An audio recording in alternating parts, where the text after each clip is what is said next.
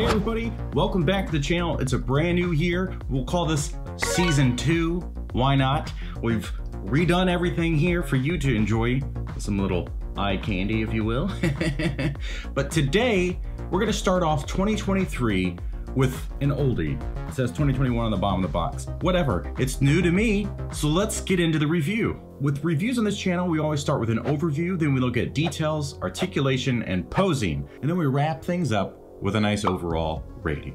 NECA Teenage Mutant Ninja Turtles Turtles in Disguise, the four pack. And I specifically got this because I wanted the dark green turtles, which we will look at. But if you're looking at the marketing here, Donnie's a little darker, but this is the lighter color scheme, which is pretty much always the case. Even back in the 90s, the turtles always got the bright green in marketing and print stuff and uh, ornaments as well, apparently. But then the animated series was always a little bit darker, which is really interesting. And when there's four figures like this, it's a lot. Let's just get into it. So front of the box, we got this awesome artwork that is just pulled right out of the cartoon essentially, but they're at Vinny's Pizza Place in their disguise, right? This is like episode two or something of the original animated series. But let's look at this packaging. So when we look at the top of the box, it's essentially like the top of a building, but there's like garbage on it, which is interesting. We got this wanted ad for Shrika, which I don't remember anything about. We've got special introductory offer. Um, and then whatever this is, it's a box of something that is probably from an episode that I'm sure somebody could uh, let me know in the comments what that's supposed to be from. We've got the bottom of the box, which is pretty plain, but the important stuff, right? We've got everybody involved in packaging and figures, sculpting, paintwork, all that stuff. The side of the box, which I can't really get under this camera. So side of the box, we've got uh, the, what's his face from the Muckman set. We got a wanted poster and whatever that is. So on the back of the box, you get the figures actually in the photos here with their disguises on, which is pretty cool. Uh, the biggest reason why I don't didn't really want this pack is because these faces are just kind of creepy, if anything. They kind of look like those baby masks that you can get for Halloween or whatever. But the dark green set versus the bright green figures, which again look more like the marketing, I think the dark green looks nicer. Obviously some of the accessories that you're gonna get in the box. So this is retail value, I think was $150 or it was this price. So what you get in this pack is actually this is a great value. You get a ton of stuff. And when you open the front of the box, it's actually a downward flap, which they've done a couple different times, but you get this nice street scene. You got some comic books and stuff. You get the manhole cover. So pretty detailed. Nice cool artwork on the flap here. Pretty neat. Is this just making a really nice packaging or is there a way to utilize this thing? should you just cut it off and use it as a, you know, like a, not really a back a backdrop. So inside the box, obviously we've got the figures themselves and then we've got all these different pizzas and all kinds of cool stuff. So because of all the glare and everything and looking at them in the pot, I can't speak. Of course, with all the glare that we get on the plastic here, plus, you know, looking at them through plastic is not nearly as fun as look at at them outside of it. So let's take them out of the box. And inside the box, you get kind of an extension of this street scene. So you could use that as a backdrop on your shelf or something. Although this is some really low windows. so in this set, we actually have like a two tier of plastic of all the accessories. So there's a lot to look at. So we're gonna try to just speed through this. Plus this is an older thing. So let's get everything out of the plastic and take a look.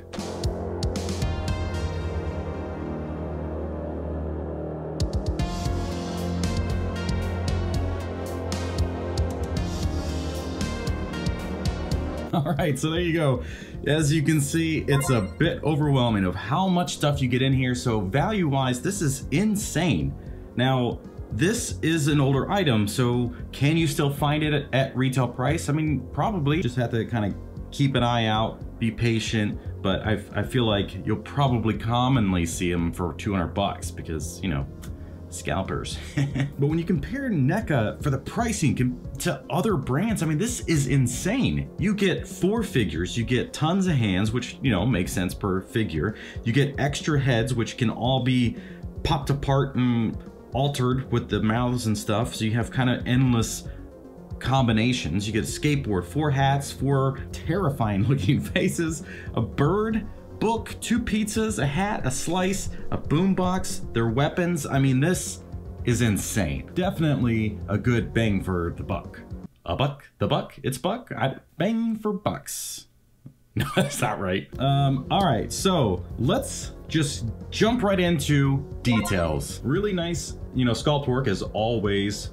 No doubt about that. It's actually on the pan, which is cool. So it's good for, you know, extra props or if you do toy photography, then you're gonna love this stuff. Look at this one with all the extra pieces of food. You get the ice cream and stuff and whatever kind of fish it is. But this is generally kind of a call to some of the things, the weird things that they order in the cartoon.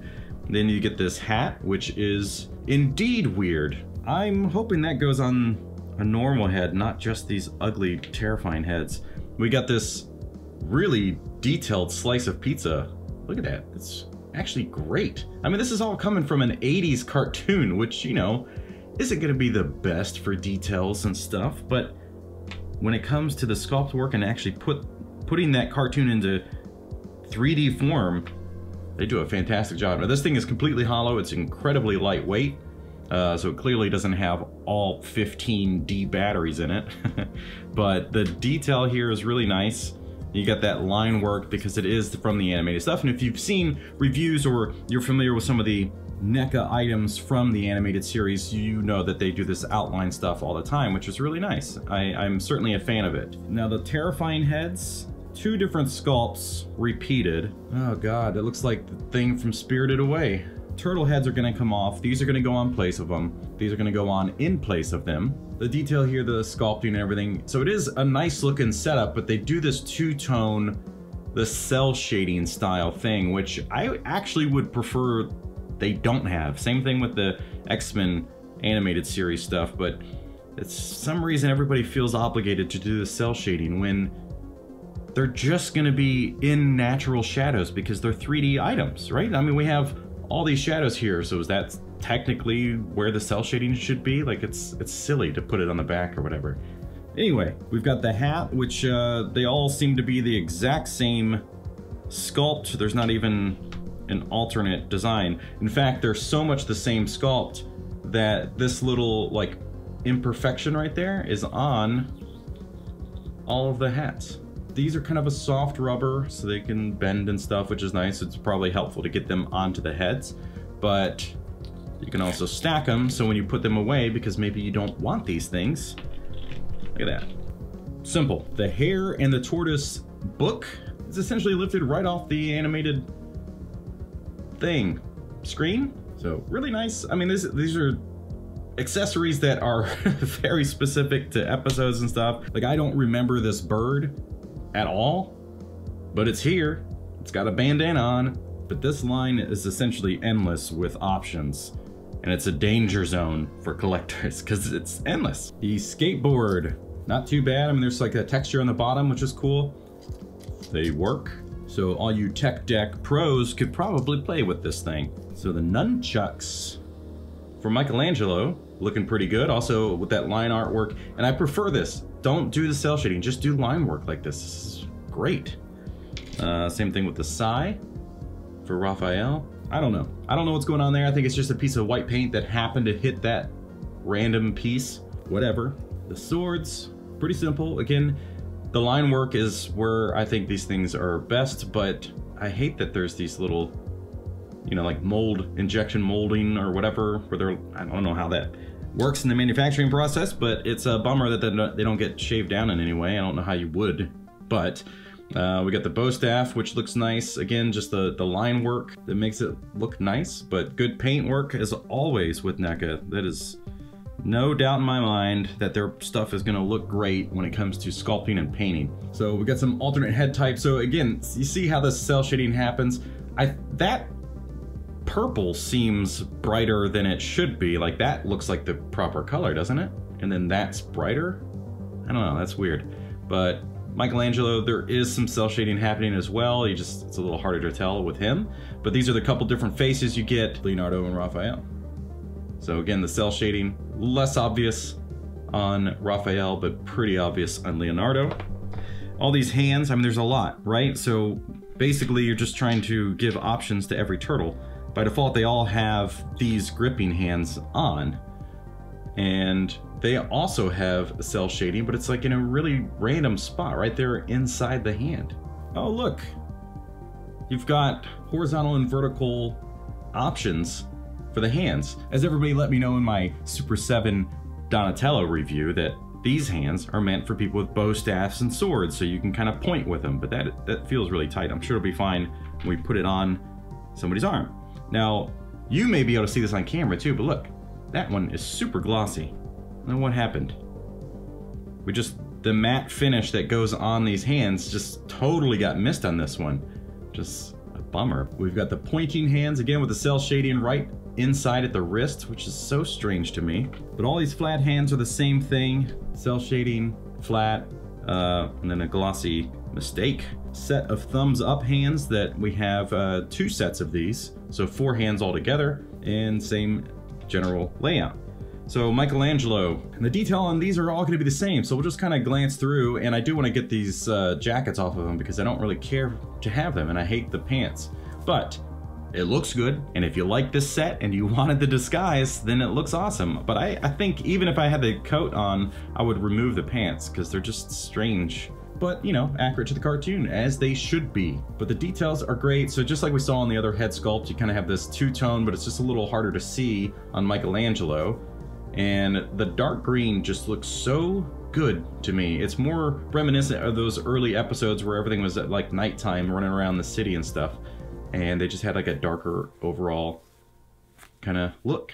So Donatello, again, with the two-tone, I wish it was just a single color, because I don't like the bright purple, although it's brighter on camera than it is in person. And same details, of course. And then you got Raphael, who's looking pretty good, happier in the cartoon than he is in the movies. And Leonardo. So they all look great. I'm very pleased, and the soft goods are really, really fantastic. So if you like this set, you're gonna be really, really happy with these. They're a little thin, which is a good thing, but they're double layered, so there's like actually stitching on the inside. Look at that. And that's like almost realistic, the way you would build a coat. So this is, they've done an excellent, excellent job on these. Let's get these coats off and see what's going on underneath. And I don't know how you do it. Um, uh, so a little heads up since I was saying uh, earlier, you can actually pop all these things apart and it shows you that on the back of the box, but the lower half of their heads can be separated so you can kind of build your own uh, turtle in a sense and have like the right expression. But yeah, I was trying to take the coat off and it just pops off. Nice little preview of how that works. All right, so that actually kind of took a while to get all of those things off, but to kind of let you know, the pants have elastic and they wrap around this lower half of the, the turtles, so it actually works incredibly well. Uh, they're built like they're built like sweatpants, but they look like jeans, joggers. Huh. And the coats look great. I mean, the the quality is fantastic. It's just after touching them for a while, I have like a chalky feeling all over my fingers, and I don't know why that is. So that's a little strange, but they look good. The pockets, uh, they're functional, so you can put some hands in there, or you can put, you know, maybe you want to put a little pocket pizza for later.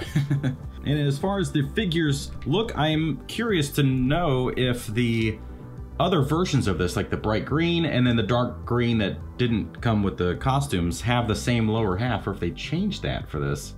Because it seems a little odd, but they, I mean, they look like the cartoon, so that's that's good, right? They've done their purpose. But the details without the coats and stuff on, I mean, they all pretty much are the same thing, right? It's just the difference of the, how their belts work. But the shells, the quality, I love it. I am such a fan. I just wish that the two-tone coloring wasn't there because it's just, it's just weird looking. But man, these things look even better in person than they do on the screen. So wait, if you think these look good now, boy, just wait until you have one in your hand and then you look at it. But they look great, so let's just jump into articulation. So starting at the top, we got a full rotation, obviously, no big deal, but we also have a hinge point on the bandana. So it spins around, I'm sure it pops right out, and then it has like a, a hinge point, which is really cool. That's like some extra articulation that you might not expect.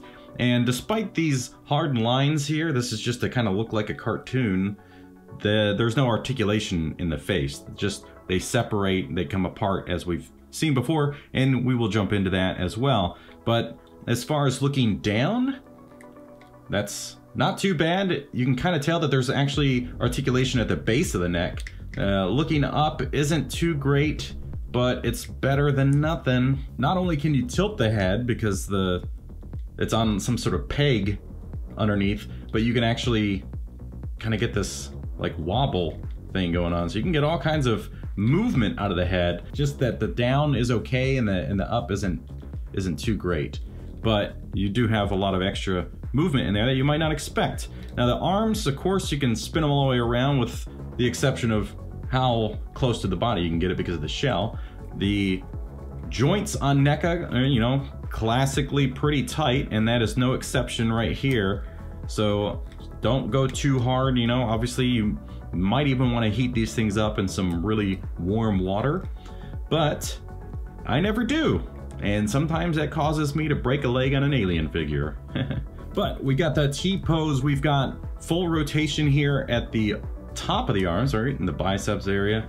And then we have rotation here at the forearms or the elbow and a nice 90 degrees. So there's only a single joint happening right here. And I think it's just because they're so skinny underneath the elbow pad. So it's just not gonna be more than a 90 degrees, which is a little bit of a bummer. But the, you know, it didn't screw up the sculpt and uh, it's a, always a big part of it. Now the wrist, of course, will have a full rotation, but also has 90 degrees that doesn't really seem to happen that well. But you can get a little bit. You just kind of have to force it, but that wristband obviously is going to get in the way a little bit. But goes backwards pretty well. And then, of course, depending on which figure you have, so let's look at, I think it was Leonardo. Yeah, so Leonardo, by default, he's got the gripping hands, but they are the alternate hinge point. So you get that right? So you can actually point your swords and stuff, which everybody yelled at me for in my other review for not knowing. So on to the lower half, right? So we don't have anything that can happen in the chest just because it's physically not really possible, right? This is all soft though, which is nice. So it helps with the torso articulation. So you actually have like just above the waist where this is all moving and it feels like maybe over time that's gonna get separated or something if you screw with them too much. But you've got some great sideways movement because of that, which is really cool. It's kind of unusual. Uh, you have full rotation, so you can actually have his legs on backwards if you wanted to. Look at that, little turtle butt cheeks. That's hilarious. Forward, look at that. He's got great ab crunch because of this. So this is beyond my expectations of what can happen, but as you can kind of see in there, that's a pretty huge opening from the top half to the lower half.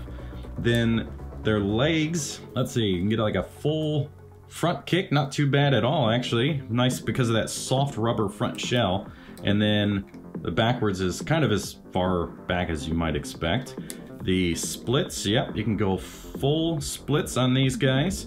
And they have that awesome ball joint that's going on and it really helps out with articulation. So you can kind of get almost any movement that you would possibly want out of legs because of that. And they're they're tight. They're not loose that we've seen with other figures. So the opposite, you know, with NECA, sometimes the joints are way too tight, and then Super 7, they're way too loose. But I'd rather have them a little too tight that I know I can loosen up with some warm water. And then we've got some pins, unfortunately, in the legs, but let's see, we've got double jointed knees, which is good because it's gonna really help you with articulation and posing to have a double jointed. And that's just, you know, the knee pad is a, a bit thicker so you can kind of get away with it a little bit more than you can the arms. Let's see, is there any rotation? There's no rotation in the legs. So the only thing you get up is in the ball joint up there. So you can't rotate, just kind of unfortunate, but I don't know if that's gonna cause any problems for posing or not. The ankles, we've got this pretty good upward. I mean, that's probably physically natural, and then great downwards, and then of course this kind of standard rotation piece that you would get on the ankles that allow you to keep them flat footed when you have them in different poses. And then they do have holes in their feet for stands. Uh, this is, says NECA 2016. How long have they been doing this? That's weird. And I'm obviously very new to this. So let's look at how we separate the heads. So just to review back on the box, it shows you that you can mix and match all your characters. So to separate them, uh, maybe they're, they're not all this easy, but I was able to just put my finger in there and pull them apart, which is nice. So you can actually even take the bandanas off. I don't know that you would need to, but that just kind of shows you how much these things are put together, which is pretty neat. So the bandana can also come out. And then the lower half, right? So that's what that looks like. Just, you know, pops into place. Nothing too wild, but really cool idea and nice of them to consider that when sculpting and building these things and manufacturing them that gives the owner, the buyer, a lot of alternative layouts. So you can have whatever face you want. You can have them scared, happy, sad, neutral, smiling, and open mouth happy. Uh, laughing? Whatever? I'm stupid. Endless options of what you want to do for the head. So, of course, an angry brow option there, and then kind of a neutral or happy brow option. So, alternate heads, this is just insane. You get so much stuff. This is, uh, yeah, great value. So that's articulation. Let's get into posing.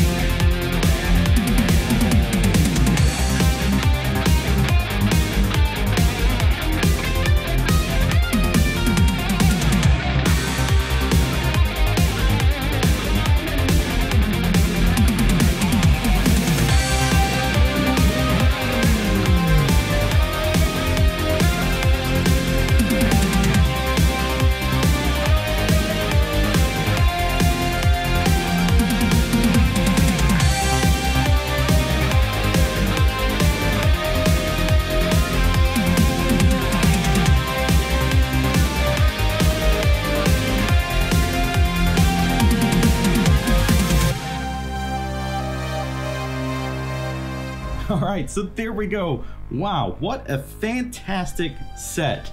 I mean, for the price, yeah, absolutely worth it. Maybe even worth a little bit more depending on how much you love these figures. Now, when it comes to rating the turtles in disguise, I guess technically is how we're gonna have to do this, even though I don't want the disguise. Have I made that clear yet?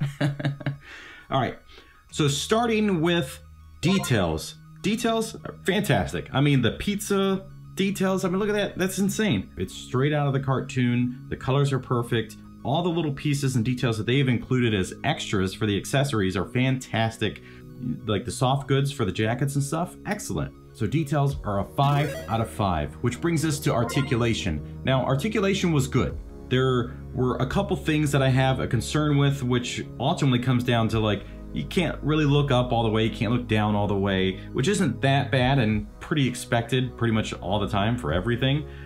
But the legs are kind of a bummer. I really wish there was some articulation, like a, a rotation somewhere down the leg, because it does kind of limit how you can get their stance, and you really got to rely on either a stand to hold them up or getting those ankles just at the right angle so they stay flat.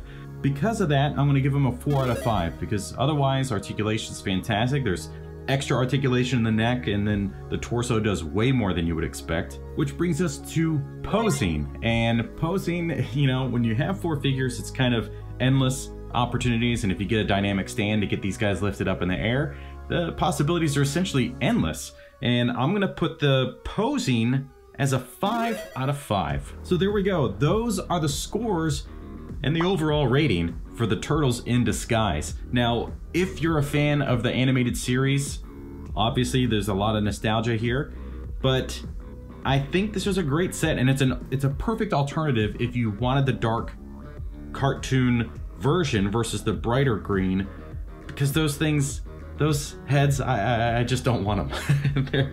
like I said, they look like the big baby mask you can get for Halloween or whatever, but the jackets are nice, the hats are cool, and all the accessories you get, fantastic. But even if I just got the turtles at that price, I'd still be really happy. I think these are awesome. So what do you think? Let me know down in the comments how you feel about this set. Is it something you already picked up? Because obviously this is an older set, but it's new to me. Who is your favorite turtle, by the way? Does it differ between the animated series and the movies? The personalities are a little bit different, but this is a great set. And another one that you should check out because it's probably worth owning is this one right here. So click that, watch that video, and we'll see you next time.